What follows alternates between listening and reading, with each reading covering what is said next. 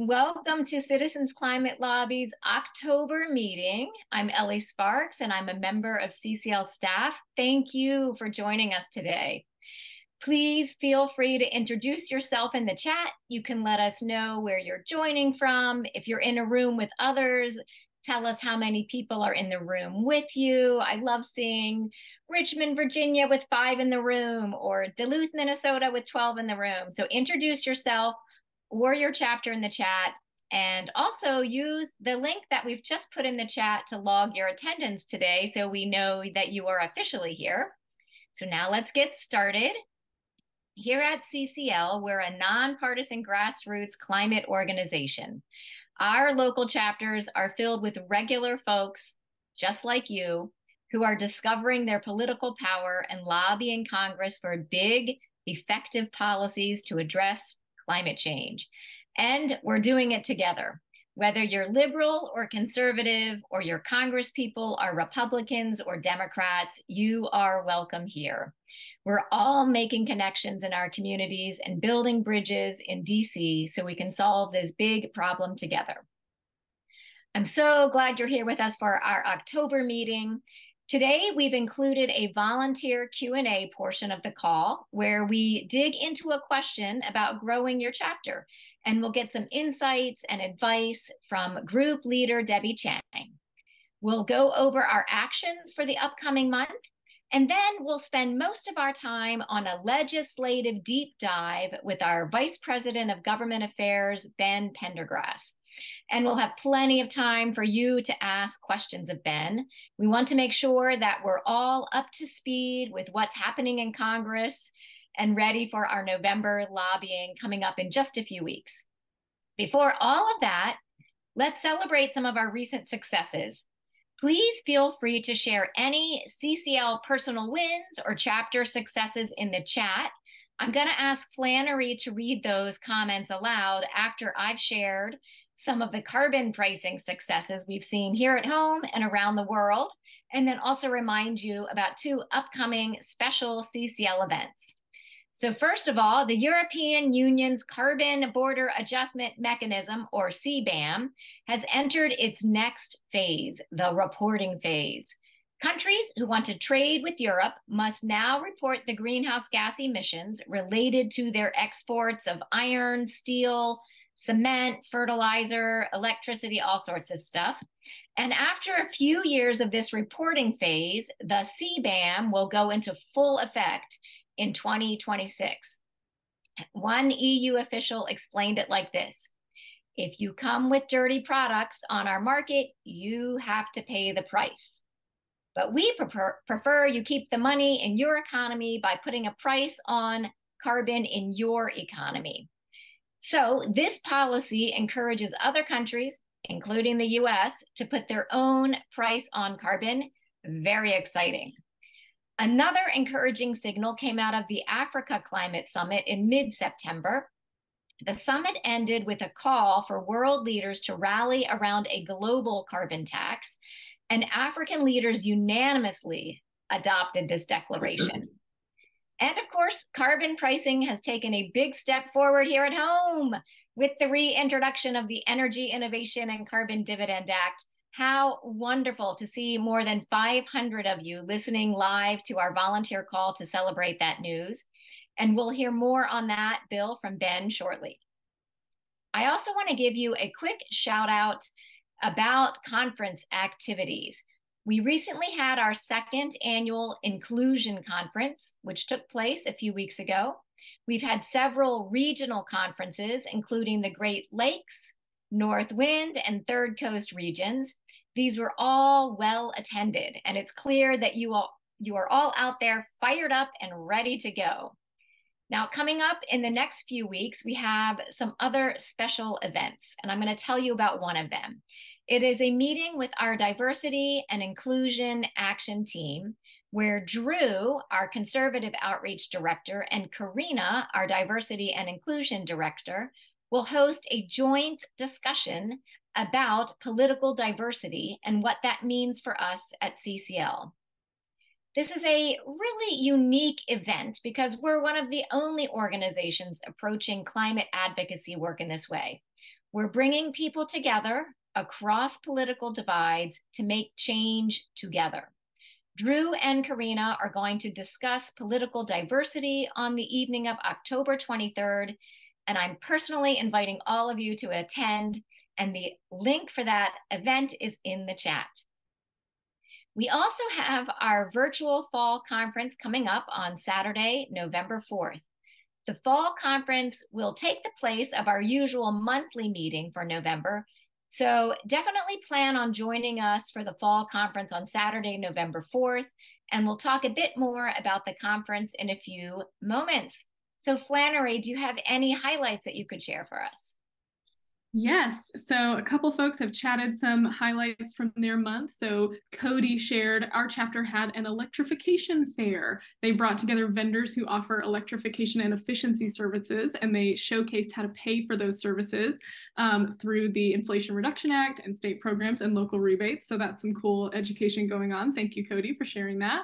Um, and the Marquette chapter of CCL said, We just had a great lobby meeting with a state elected official. So awesome stuff happening out there in the field. Awesome. Thank you, Flannery. And feel free to continue putting things in the chat, how many are in your room with you, where your chapter is located, and tell us any more celebrations you want to add. Okay, so moving on. CCL's community forums are a great place to post questions. I know you all know that, and chat with other volunteers and CCL staff about the work that we're all doing. Volunteer Sarah M. posted in our group leader forum after attending the conference and lobbying on Capitol Hill earlier this year. And she said, Our chapter is about four, yes, you read that right, four active members strong. Three of us just returned from in person lobbying. And for two of us, including myself, it was our first time. We are definitely satisfied with the experience. But I also find myself overwhelmed and not sure where to begin to help our small chapter grow and do more. Sarah went on to say that they are struggling to get people to show up and come back, which is a common challenge. And she asked for guidance and experiences related to welcoming new people and setting realistic goals as a small chapter. Now, there was a great conversation in the forum with other group leaders jumping in to offer advice, including Debbie Chang, who is the group leader of CCL Huntsville in Alabama. And Debbie is here with us to share some of the advice she gave when answering Sarah's question. So, Debbie, over to you. Hi, everyone. Um, I'm Debbie Chang, and almost a year ago, I moved from being a co-leader of a large liberal metropolitan area to a sole leader, leader of a, chap, a lapsed chapter in a mostly conservative suburb in a very conservative state. Um, since I joined CCL six years ago, the political lever of CCL that I've been most interested in is chapter and member development. Um, they were good skills to build on that I'm actively using now to kickstart this new chapter. Um, the best skill that I can share with all of you is to have grace for yourself and for the volunteers around you. When I restarted the new chapter, I reached out to advice for uh, the most, whatever, what is the most important thing with Ellie and Brett and my therapist. They all independently said the most important thing was to give myself grace.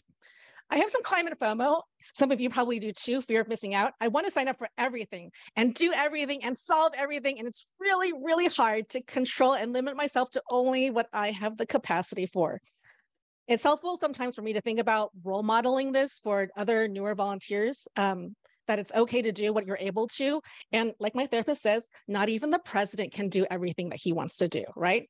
So the advantage to this grace for your capacity is that it's more sustainable as a volunteer to do a couple of things well, and it creates more sustainable change if your chapter is able to keep up a persistent climate effort with your legislator. So keeping that in mind, take what serves you here and leaves the, leave the rest. So this is some of what I priority, prioritize. The one consistent thing, what's your one consistent thing? The primary thing that I'm committed to as a chapter leader is making sure we have a meeting every month that people can attend and that everyone knows about it. So it means like communicating the meeting through all the regular channels and with occasional bonus contacts like e either email, text, or phone um, a day or two ahead of time. So that's all I'm doing. Any other efforts can wait for others to step up. Now, if you're not a chapter leader, what can you do that's sustainable for you? Maybe it's holding a letter to the editor writing party each month. Maybe it's reading the weekly briefings for an idea that you want to make happen in your chapter. Maybe it's just doing that monthly action that CCL emails you or showing up to the meeting to lend your enthusiastic support. That's it. Great. Consistency, persistence is really critical to the long-term um, effects of your efforts connecting with new joiners. Your new members who show up to on, um, at your meeting or on your roster for the first or second time they're your best prospects for volunteers. This is probably one of the most important things to do for any chapter. Um, i use the welcome call form that's on the onboarding action team. Shout out onboarding action team. Awesome. Um, if you're a veteran volunteer make it a point to reach out to a newer member at a rate that's sustainable for you. Um, if you're a newer volunteer, help us veterans out. We're all volunteers. Reach out to a leader to express interest in something or even just socially. Um, and remember, people come to CCL for the climate cause and they stay for you and the community that you help create. Um, taking action in the meeting. Each monthly chapter meeting agenda includes a collective action, preferably contacting a legislator. You can find those in the monthly action sheets. I try to give five minutes of quiet time during the meeting itself so that we do it right then. And that efficacy and tangible action helps keep people coming back. And last, sharing gratitude. At the end of each monthly meeting, our chapter members like to give recognitions and share gratitudes. So here's an example. Sarah Mason, you're awesome for asking this question and starting this conversation. I'm so glad that you asked it. I know other people have the same question. So thank you for doing that. Um, and then we open the floor up and popcorn style and ask everyone to, to, to chime in. And the reason that we do this is that we show people that their contributions, large and small, um, even one that you might take for granted, they're appreciated, they're noticed. Please keep doing it. And I have noticed that this practice really helps change the chapter, um, the culture of my chapter after we started it. So shout out to the awesome community in my chapters listening in. And for all of you out there in CCL land, I'm so glad and grateful to be in this movement with you. Mm, thank you, Debbie. That was so wonderful. And I did see your chapter. It says Debbie's chapter. they are here listening. That is so beautiful. Wonderful, wonderful advice. I really appreciate you coming on to share that with everyone. All right, so remember, we found that Debbie found that question in the forum. The forums is a great place for you to bring your questions and help answer others' questions. So keep keep uh, the forums in mind and post your questions there and share your advice. All right, so speaking of things that you can find on CCL Community, our monthly action sheet. So let's take a look now at the actions we recommend for October. So first action is to register for our fall conference. Now, as I mentioned at the start of the call, this is a free virtual conference. We're calling it Grassroots Rising, and it's happening on Saturday, November 4th, and there are other programming that happens also on Sunday. The program will dive into different ways that we can level up our advocacy to meet the increasing pace of climate change. Now, you're not going to want to miss our keynote speakers. We have Van Jones, who you've probably seen in his role as a CNN commentator, and Danny Richter, who you've also seen around CCL for years as our former Vice President of Government Affairs. We've got plenty of volunteer led breakout sessions where you can learn from each other on community outreach, coalition building, creative ways to interact with your members of Congress, and all sorts of good stuff. And we hope your chapter might consider hosting a watch party so you can join together in person with each other to attend the virtual conference. We'll drop a link in the chat where you can register Again, it's free virtual event Saturday, November 4th, and we hope you will join us there. Another action you can take in the coming weeks is to plan for your November 6th through 10th lobby meetings. Now, we usually pair our conferences with lobbying. So when we're in DC in June, we have our conference days and then we go lobby on Capitol Hill. When we uh, have our conference in the fall, we also then lobby virtually in the fall. So get with your congressional liaisons to plan those meetings. And Ben is going to touch on this a bit more in his legislative update in just a minute. All right, another action you can work on is educating people about the Energy Innovation Act and building support in your communities. Our action sheet this month has lots of suggestions on how to do this and new resources that you can use. One idea is to schedule some tabling events and get folks to fill out our updated constituent letter form. So people in your district can write a personalized letter to their representative asking for their support. We also have a variety of tabling materials about the Energy Innovation Act, all linked from the action sheet for you. And another idea is to arrange presentations to other local organizations to educate them about the Energy Innovation Act. We have updated slides that you can use for those presentations and trainings about how to give a good presentation if you're new to that type of outreach. All of those resources and ideas are in the October action sheet, so take a look and jump in. All right, so now it's time for our legislative update, where we're going to hear from Ben Pendergrass, CCL's Vice President of Government Affairs. We're going to have plenty of time for Q&A, so please put your questions in the Zoom's Q&A feature. And just a little bit about Ben before he gets started. Ben has worked for over 14 years in Washington, both as congressional staff and as a government relations professional. For several years, he served on the legislative staff of a Republican senator. And before joining CCL staff, he was senior vice president for policy and legislative affairs for a national trade association. Ben has worked in a wide range of policy areas, including taxes, natural resources, agriculture, and natural national security. So we're super lucky to have Ben as our Vice President of Government Affairs, helping us navigate the complicated world of Congress. Over to you, Ben. Thanks, Ellie. Um, might need to update that. Now I'm getting old. It's been 20 years, as scary as that is for me. I know Ellie, Ellie promised you a deep dive, but we might it might be more of a shallow wade, so we have uh, plenty of time for questions.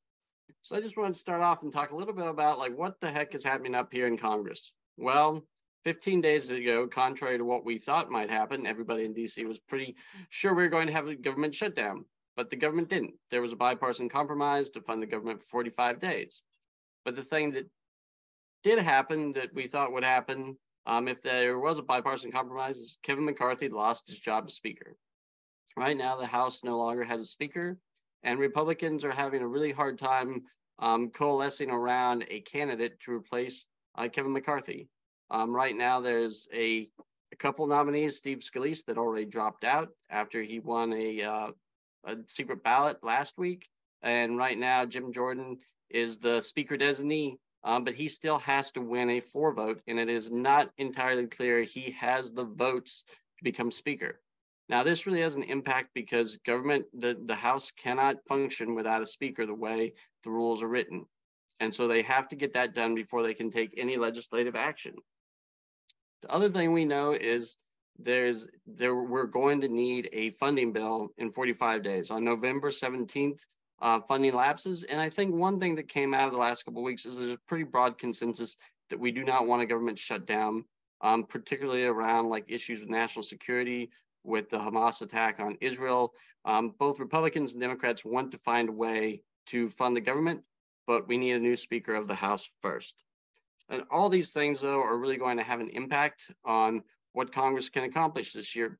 But we do think there's a room for an end of the year deal to get some things done. People want funding, emergency funding for Israel in light of the attack. They need to fund, provide assistance to Ukraine. There might be a place for permitting reform in that deal. And that's what we're really going to be thinking about in the next couple weeks. On the legislative side, like Ellie noted, the Energy Innovation Act was reintroduced, which was great. It's the first major carbon pricing bill to be introduced this Congress, and it's always an important step forward. You know, you guys made thousands of calls in the lead up to introduction of that bill to remind people of the importance of a carbon price, and have since made thousands more calls and emails to Congress reminding members that it's important. And you know, Congress really does need to hear from us on these issues when a bill like that is introduced, because if we're quiet, you know, they don't know that there's grassroots support for carbon price. So we're fulfilling our role in making those calls. But one thing is this is really a long-term project. And our focus for the Energy Innovation Act or any carbon pricing bill really needs to be on building that grassroots support in our communities. I really appreciate the things that Debbie said, because that's where we can really have an impact right now when it comes to carbon pricing. We need to grow and strengthen and broaden those grassroots support for the policy, not necessarily be focused solely on Congress in advancing. Remember, carbon price is a long game right now, but we also have to get climate wins uh, in the near term as well. And that's where I want to talk about permitting reform. You know, permitting reform is a, a top priority because we know it's one of the biggest things we can get done now. We know it's vital to fully utilizing the victory of the IRA, and it will really be impactful when it comes to making a carbon price successful in the future when we do enact one. On that front, you might remember we've been we've been at the forefront of the carbon price or at the permitting reform conversation before a lot of folks were. In March, our conservative volunteers came to DC for a conservative conference and lobbied on permitting reform. A lot of those things ended up in the debt ceiling debt at the beginning, the debt ceiling deal at the beginning of the summer. And so it was impactful. Then we lobbied on permitting reform generally when everybody was here in June. And you might remember, as part of that, we made a ask around transmission. We said Congress should consider giving FERC greater authority to permit, site, and allocate costs for large scale transmission, or they should require that regions be able to transfer significant power between regions. Well, the bill that would do that last part was introduced in September, and it's called Big Wires. It addresses the need for greater interregional transmission by requiring regions to be able to transfer up to 30% of peak demand between other regions. They would do this by creating new transmission lines or upgrade existing facilities, use grid enhancing technologies such as advanced power flow controls or dynamic line ratings, find new ways to be energy efficient and reduce peak demand, or create new generation or storage that frees up, frees up capability to move power. You know, Dana is going to give a deep dive on this bill next Thursday, the 19th, to really get in the weeds of what it does. We have been working with Senator Hickenlooper on this bill since spring.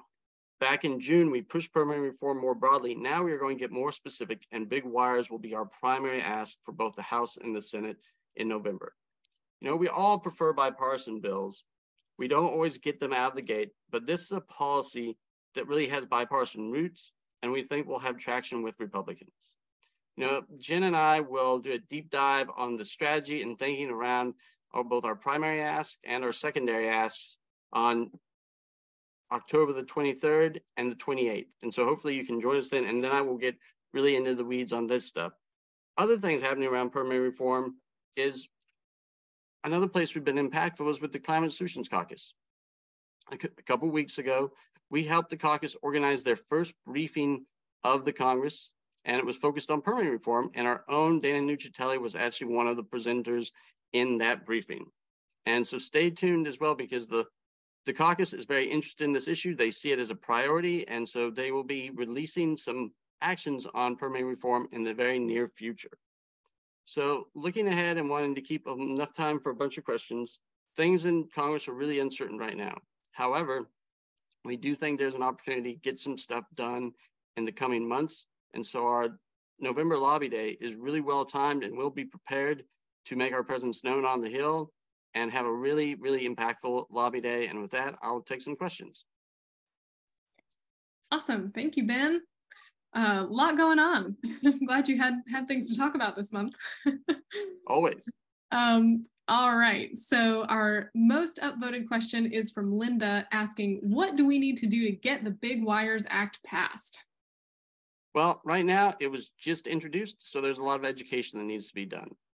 I, I have to give great credit to Senator Hickenlooper and Representative Peters. They've done a really good job of working behind the scenes to form a really broad coalition uh, in support of the bill. But we still, we now have to use our grassroots powers so that members of Congress hear from everyday citizens about the importance of this issue and the importance that permitting reform has a transmission component. And this will be really important the way we talk about it too, because this is, is important for grid reliability, that has national security implications. There's a lot of good things like besides, you know, getting more transmission that helps us clean up the grid and get more clean energy to American households. Awesome. Um, all right. The our next question is from Carl. He's asking, can the House rules that prevent uh, bills being brought to the floor be changed? Are those limitations, those are not in the Constitution, right? Is that just a rule change that can happen? Well, I mean, I assume you're speaking of things like a discharge petition is one way that bills can be brought to the floor because the speaker really does set the agenda for the House. That is the way it generally works. The speaker brings bills to the floor. They have to go through a rules committee first to set a rule for debate. Um, those are all things that are done by the House, but you really need the only way traditionally bills come to the floor, and it happens almost never um, without the speaker bringing it to the floor is through a discharge petition, which means a, a majority of members of the House have to sign that. Um, and it's considered a uh, affront to leadership if you do that. That's why it's not normally used. But um, there's been quite a few affronts to leadership in the last couple weeks. Um, so we really are in unprecedented territory, and it is not clear yet what what the way out is. I mean, Republicans simply cannot coalesce around one candidate. And so that also leaves open the possibility of some sort of bipartisan deal, which is still not likely at this point. But if another speaker um, candidate was to fail on the floor next week, that could become a more likely possibility to get the House back open and operating. Interesting. Okay, we'll stay tuned to see how all that shakes out. Um, our next question is from Robert about permitting reform. Um, they say, I received a long, articulate letter from Senator Booker about permitting reform. The environmental justice community is very skeptical about permitting reform. Uh, watching the presentation that Mr. that Dana Nuccitelli did uh, included bringing communities into the process at the beginning. Uh, and so Robert's asking, how do we address the concerns of the EJ community on permitting reform? I think one of the things when we talk about permitting reform states this is not about rubber stamping all projects we really want to make sure that bad projects get canceled sooner and good projects get approved faster. Um, a, as, as Representative Peters has said, the second best answer to yes is no, just get in quickly. And, and that's what we want to make clear that it is not supposed to be a rubber stamp. And we also believe that you can improve the process where communities do have more engagement upfront and that can head off lawsuits because there's more dialogue and addressing of concerns. And so we want all these things um, in continuation, and the other thing that I think is really important to remember is is study after study has shown that most projects now being held up are clean energy projects. Like they're not fossil fuel projects, they are clean energy projects, and that is slowing our effort to decarbonize and clean up the grid, grid and in other places, and, and that has health impacts as well. And those are the, the major points I think we need to continue be making. And but we still just need to be sure and listen to people's concerns and find a way to um, get more clean energy up and running sooner. All right. Well, on that note about getting more clean energy up and running, um, I'm seeing a lot of questions about uh, about the Big Wires Act. So um, let me just pick a couple of those out. Um, so one was just asking, this is from Jack, just asking generally, does the Big Wires Act make it easier for new projects to connect to the grid? So maybe could you just give us a little sort of a high level, like what does the Big Wires Act do? Why are we so excited yeah, about it? So, and, and Dana will get into the very specifics of the bill next time, but the Big Wires, Big Wires Act, things it does is through, it gives regions a lot of leeway on how they accomplish the goals of the act. One of the problems with some of the other ways to address transmission was it took authority away from states and gave it all to FERC, which is good if you want more transmission. It can streamline the process, um, keep one state from holding it up. And but this became politically much harder to to get done after the the fight over permitting reform and the last year's omnibus bill that was put forth by Senator Manchin. Big wires is there's usually multiple solutions to a problem, and big wires gets around this a little bit, but it still gives states and regions, you know, say over how to accomplish the goal. It sets the goal. If you if you're going to have to be able to transfer for 30% of power between regions, you're going to need more transmission. But it gives them more options of how they accomplish that goal. And if we do do this, we will inevitably get much more transmission and much more green energy onto the grid. It's just a different way of accomplishing um, that goal to have greater build out of transmission. Gotcha. Okay. And then we have a question from Michael um, about how much would big wires on its own bend the US uh, emissions curve, which I'll forgive you if you don't have a specific percentage right off the top of your head. This is this is hard stuff, but and, and I'm sure Dana will answer that. I was about to uh, say, Dana, are you watching? Do you have a chart ready for next week? That's and we know we know it's all part of the big picture. I mean, everybody's seen the chart, I hope, of a carbon price and permitting reform. Um, those big chunks of emissions reductions, we know transmission is a big part of that. Um, you know, we can't hit those numbers if it takes 10 years to approve and permit a transmission line, and big wires will speed that up. So you have to think of it as being part of that big wedge that permitting reform does. If not all of it, a big part of it. Totally. All right, well, now let's pivot a little bit. Um, our next most upvoted question is from Karen asking about the EU CBAM. So uh, they're asking, do we know why the EU is taking two years for the reporting phase um, before enacting the actual CBAM? Now, this is all, you know, this lead up, they want to have the information first. They want to give companies a lead to, you know, see how the CBAM will impact them so they can change their behavior in advance of um, the CBAM actually going into effect. And so it's really like it is is a necessary um, window. They had pushed it back a little bit. It was supposed to be um, a little sooner, and this is just part of their process. Um, instead of just implementing it immediately, now people will have two years to see what their emissions are, what the impact of the fee would be on their their business, and then they can be prepared when it goes into effect in the next couple of years. Gotcha. Um, well, we also have a question uh, from Mike about the Prove It Act. So, um, can you talk about Mike's asking anything new with the Prove It Act? Any hope for a House version? But maybe you can also talk about um, what the Prove It Act would do here at home and how that relates to the EU. Yeah, no, the Prove It Act is is is a great step forward because it is calling for a DOE study into our emissions from our industry as well as our foreign competitors. And the thing is, it will show that American industry is much cleaner than China, Russia, India, some of the bigger polluters, and that they are probably at a competitive disadvantage. Uh, for that reason, because they are taking the time and cost to decarbonize faster, and these other countries shouldn't have a competitive advantage. And great news, what's going the Prove It Act is last week or the week before, um, Senator Boozman and Durbin joined that, bringing the number of bipartisan co-sponsors to 10 in the Senate. Uh, and Boozman is a great addition, as well as Senator Durbin. They're both highly respected members of the Senate. So we are seeing that momentum continuing. And it really is an important step towards, you know, having this conversation about lowering how we lower global emissions. We still hold out hope that a House version will be introduced in the near term. As I said, there's been a little um, disarray over on the House side that really impacted um, things getting introduced and timelines.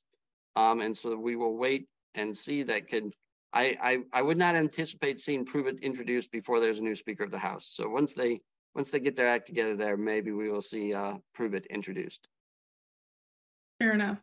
Um, so speaking of disarray, there are two two questions that kind of talk about that. So a question from James is saying, um, the House is so dysfunctional in terms of rhetoric and partisan excesses. What are the chances anything at all can happen? Uh, and then Josh is asking, how much does our agenda uh, depend on who is the next speaker? Uh, if uh, if it's Jordan and he's further right, does that put our agenda at risk? So can you just talk a little bit about the sort of the I guess political dynamics and how that uh, how that may affect what we're trying to do, or does it affect what we're trying to do? You know what? We have to keep doing what we do. It's, it almost makes our work more uh, more important than ever. But one of the things I took away from the the deal to keep the government open for the last 45 days, there was a large bipartisan majority that actually did come together to get that package approved. It moved unanimously through the Senate. Um, and both Democrats and Republicans voted for it in large numbers to move it forward in the House. That's bipartisan cooperation. Now, mind you, those that did not want it to move forward had the ability to oust Speaker McCarthy, um, but they are a relatively small minority of the House. And so I think there's there's this has even facilitated some more bipartisan conversations. And I think really opens up an opportunity for once once they figure out who the speaker is, they're going to have to figure out a package to fund government, and that package is going to be bipartisan. There's going to be further bipartisan cooperation to keep the government funded for the rest of the fiscal year. And part of that, I think there will be a lot of um, bipartisan deal making and some opportunities for climate wins. So I think, yeah, I think there's a really good opportunity. And this is why I think the timing of our lobby day is perfect. We're going to be talking to Congress when they're making decisions early in November. Uh, be, and then on because they have to have something ready by November 17th. It might it might be another short-term CR, you know, to give themselves 10 more days to work. But they're the end of the year is when these bipartisan deals are going to be happening, and we'll be right on time to deliver a really strong message that this is the time to get some of these important wins for permitting done and potentially some other um, secondary asks that we um, will be talking about uh, in the coming weeks. Awesome. All right. Um, our next most upvoted question is from John and Melissa. We have a joint person logging in. Um, the question says the Energy Innovation Act seems to have almost no co-sponsors this congressional session. Last session it had near 100. What has changed? So I, I, I should reiterate that we talked a little bit about this on the introductory call. Congressman Carl, we're in a different congressional place than we were last Congress. Last Congress, Democrats had control of the House, the Senate, the White House. Um, getting as many co-sponsors, even if they were just from one party, was really important to help keep carbon pricing at the forefront of the conversation around the big climate package that ended up becoming the IRA bill. And it really was in there. And so it made sense to just have as many co-sponsors as possible. Right now, we're in a place of divided government where anything is truly going to need to be bipartisan to advance. Congressman Carbajal wants to hold the door shut, for lack of a better thing, to getting a bunch of co-sponsors. He's not taking co-sponsors right now.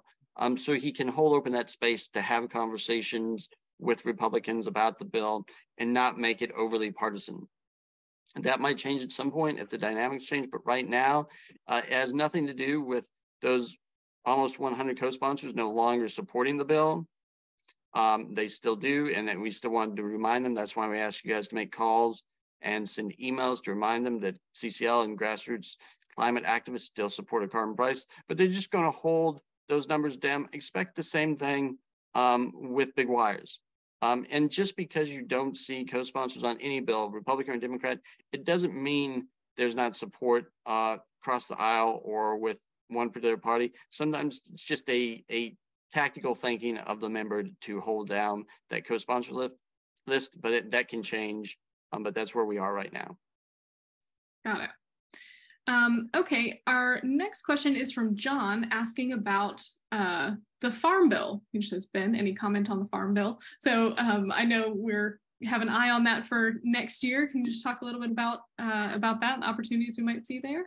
Yeah, no, I think there's going to be a lot of opportunities. And we will get in some of this when I think about our November lobby day, especially with secondary ask, because the Farm Bill also expired um, uh, a couple weeks ago, but it doesn't have as immediate repercussions. Some of this stuff will start to hit, but they will need to extend the Farm Bill as well. And the thing up here is because they really didn't get enough done on it, that this is going to be something they're going to be working and focused on in the spring. And in my ideal perfect world, because there's not like um, we, we have all have limited bandwidth, is we get big permitting wins now at the end of this Congress, and then we can pivot to greater focus on the Farm Bill in the spring because it only happens once every five years or so. And but there will be a lot of opportunities. We're already seeing a lot of good signs. Some of our supporting asks um, are specific things around healthy forests that are really designed and intended to be looped into the farm bill. There will be some more things coming that people hope to include in the farm bill, but there's really a renewed focus on using agriculture and natural climate solutions is pretty popular and has bipartisan support. Um, and so we really think there's going to be some big climate wins, but we will see a lot more from us talking about this, what those could be and where we'll focus our energy. Awesome. All right. Um, we've got to, we'll take a couple more questions here before we wrap up. So um, this is a question from George asking, is there anything climate or energy related in the National Defense Authorization Act process uh, that we should be thinking about? Well, there there are a couple things. There were there was some not so good things in the House version, but we know that's not going to be the version that advances. There's nothing that is. There's still the possibility that some climate things come together in the bigger package. The NDAA is always a a big vehicle for trying to move things because it's a must-pass bill. So there could, it still could be a place where we see bigger climate priorities. There was a um, nuclear bill, the Advance Act, um, that was included in the Senate version of the NDAA. Um, so that could be something that's in there. And th that could also be another place where things are done around permitting reform. There could be other riders slipped in there. I mean, most likely things are going to be on appropriations, but the NDA is always something and we'll be keeping an eye on it. Gotcha. Okay, so what I'm hearing is that everybody should come to the trainings that you and Jen do over the next few weeks to stay uh, as updated as possible about all this different stuff that's going on. Absolutely, we'll have a lot of good stuff to share. All right. Well, our last uh, last question here um, from Mindy is: How do people sign up to lobby? Should they talk to their talk to their liaisons? Is there more of a process than that? Probably your liaisons are a good place to start. Your regional coordinators, your state coordinators, um, I, th- that is that is that is where to go for sure. All right, and the lobbying. Um, anything else you want to say about about because um, the lobbying is happening the week after our fall conference, um, November fourth. So. Um, one thing, I mean, the one thing I'll say about lobbying is like we really want people as much as possible to focus on getting meetings that week um, because one thing we know a lot of things are going to be happening and sometimes like virtual lobbying can get kind of a little bit more spread out but we're most impactful when we speak with one voice at one specific time we really see that and one thing you'll see um, and we'll talk about in trainings is we we try to adapt. We try to learn from what we're doing and see what's being effective. And one thing we saw in june is we had too many secondary asks. So we did not have as great an impact as we have had previously when we were all making just a few asks and we would see big bumps in co-sponsors and really help some of those bills like um, the Growing Climate Solutions Act, the BEST Act, use that. Get we got those things over the finish line by having more focus. And so, what one thing you'll see um, in, for this lobby day is we're really going to try to tighten things up and have a much more focused approach. Um, it's not because these other things are not important anymore. We're just going to try to be the most impactful, learn the lessons from previous lobby days, and um, and that's that's the thing you can expect to see um, from us in the the trainings coming up. Awesome. All right. Well, thank you, Ben. That's all the time we have for questions. So I'll pass it back over to Ellie. Thank Thanks, you. Benny. Yeah, thank you both. I loved how you concluded that, Ben. I just like felt a stirring of patriotism and sort of a sense of a place in history as you were describing the successes we've had with our, especially with our supporting asks. So I don't know if anyone else felt that, but I certainly sat up a little straighter and waved my flag a little brighter. Well, thank you all for your wonderful questions. And remember, if you have questions that you asked but weren't addressed, or if you have other questions that come up, you certainly can post them in the forums on CCL community and join Ben and Jen for the trainings in the coming weeks. If you haven't yet, let us know in the chat how what, chapter you represent and how many are in the room with you. We'd love for you to do that in the chat before we uh, officially wrap up. Uh, I want to say thank you to Ben for all of his insights and thank you for Debbie for sharing her advice and her experience. And thanks to all of you for being here for this month's meeting. And we will see you on November 4th.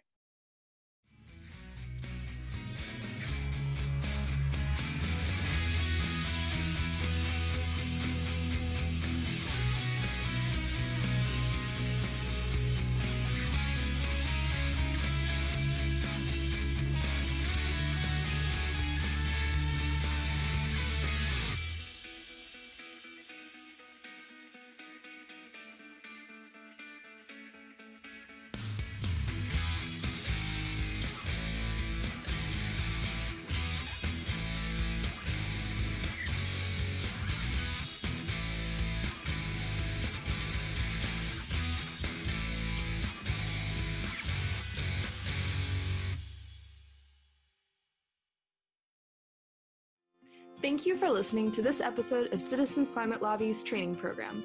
You can tune into more episodes anywhere podcasts are available. Inspired by what you heard today? Join Citizens Climate Lobby to advocate for bipartisan climate solutions. Go to community.citizensclimate.org to find more trainings, resources, your local chapter, national action teams, discussion forums, and more. Be sure to like our Facebook page and follow us on Twitter and Instagram at Citizens Climate. We also invite all of our listeners to subscribe to our YouTube channel for more inspiration. And together, we are creating the political will for a livable world.